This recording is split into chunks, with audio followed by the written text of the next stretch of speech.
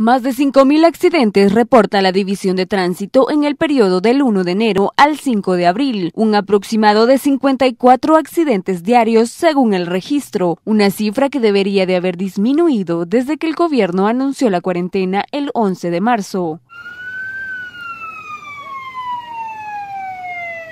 Pero algunas entidades de primera respuesta han visto un incremento en estos casos. Hay, muchos conductores que piensan que porque las calles eh, no están, eh, transitadas, pues va a correr más y ahí es donde viene el percance, ¿verdad? Cuando se inició lo que es la, cuarentena, pues la gente sí había acatado las diferentes indicaciones eh, de quedarse en casa, pero ya pues como que la gente se empezó a aburrir, ha empezado a salir a las calles. Este fin de semana, Comandos de Salvamento atendió 25 emergencias por accidentes, la mayoría de estos en San Salvador.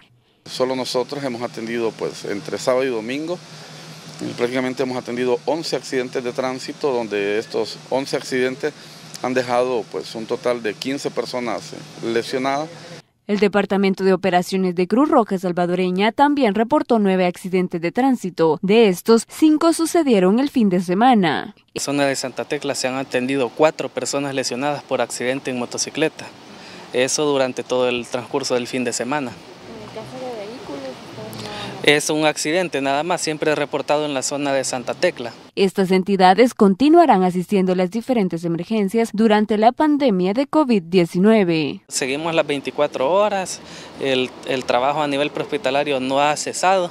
A pesar de la cuarentena domiciliar obligatoria, la carga vehicular ha incrementado en los últimos días.